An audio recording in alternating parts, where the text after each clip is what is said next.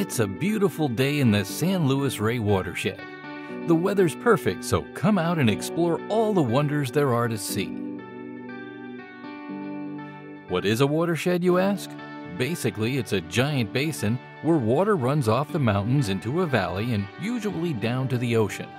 And there are 12 of them in San Diego County. San Luis Rey is one of the largest, with over 562 square miles, which includes the 55 mile long San Luis Rey River, Lake Henshaw, Warner Springs Ranch, Palomar Mountain, Bonsall and Valley Center, Fallbrook, Oceanside, and eight Native American tribes. San Luis Rey, Pala, Pauma, Rincon, San Pasqual, La Jolla, Santa Isabel, and Los Coyotes. Starting in the far east end of the watershed at 6,535 feet above sea level is the highest peak in San Diego County on Hot Springs Mountain and home of the Los Coyotes Indian Reservation.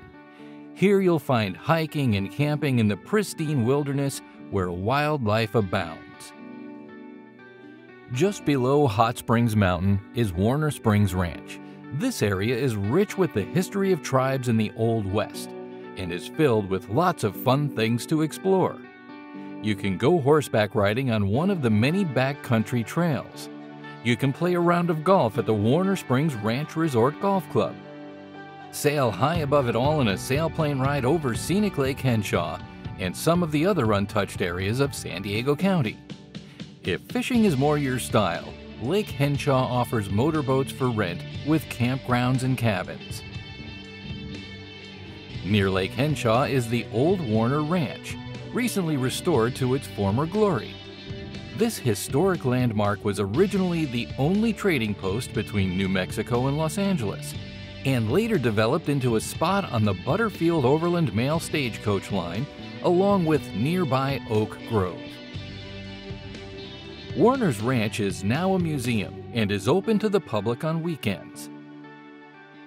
The San Luis Rey River flows from Lake Henshaw through the Cleveland National Forest and then onto the La Jolla Indian Reservation. The reservation offers camping right along the river in a natural setting, as well as other adventures like ziplining through the trees or using an inner tube to raft down the river. After leaving the La Jolla Reservation, part of the San Luis Rey River is diverted through the Escondido Canal, built in 1895. This canal now brings drinking water to the cities of Escondido and Vista. To the north is Palomar Mountain, once home to the band-tailed pigeon. Palomar, which in Spanish means pigeon roost, is now home to the Palomar Observatory and the Hale Telescope. This 200 inch telescope was the world's largest and most important telescope from 1949 until 1992. The Booker Fire Lookout Tower, just above Old Nate Harrison Grade Road, was a critical tool in spotting forest fires from the San Diego border all the way to the north and is still in use. You can visit the tower today within Palomar Mountain State Park. Palomar Mountain gets more rain than anywhere else in San Diego County, up to 45 inches a year, and has an active fault line, the Lake Elsinore Fault Line, that runs along the southern edge of the mountain. Further to the west is the Rincon Indian Reservation.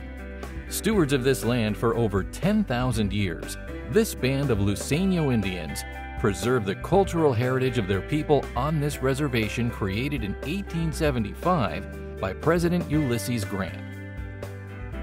Also in this area is the San Pasqual Reservation, which was formed in 1910 after they were forcibly moved from their original home in the San Pasqual Valley, near the present-day San Diego Safari Park.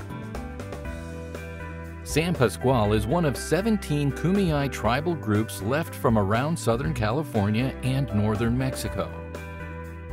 To the east lies the Hell Hole Canyon Preserve. This tract of chaparral highlands is important to our local ecosystem and features a lookout point and over 13 miles of hiking trails. On a clear day, you can see all the way to the ocean. Nestled within the agricultural Pauma Valley lies the Pauma Reservation, with its numerous orange and avocado groves. The name Pauma translates as place where there is water. To the south is Valley Center. The largest California grizzly bear in history was captured here in 1866.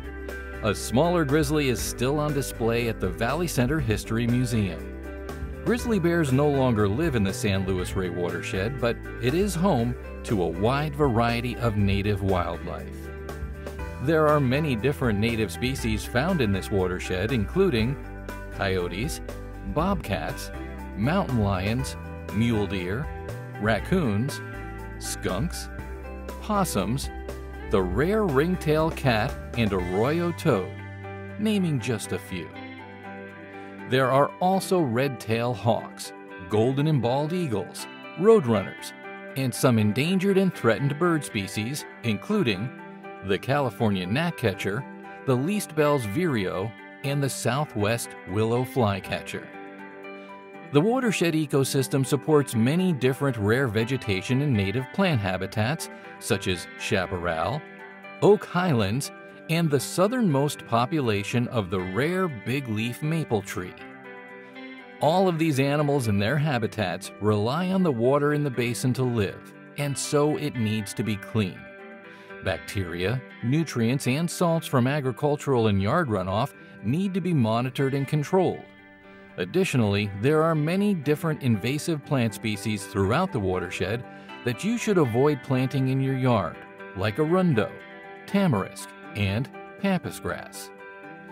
Septic systems in rural areas need to be maintained regularly and working properly since they can impact our groundwater. For over 90 years, five generations of the Bates family have carried on the traditions of the country farm at the Bates Nut Farm. It started out as a walnut farm, but today they sell several types of fresh nuts, candies, fudge, and delights to thousands of visitors each year from all over the globe. To the north lies the Wilderness Gardens County Preserve and the old historic Sickler Grist Mill. Built in the 1880s, the mill was used by local farmers who would pay 30 cents to the Sickler brothers to grind 100 pounds of wheat or corn. To the west lies the Pala Band of Mission Indians.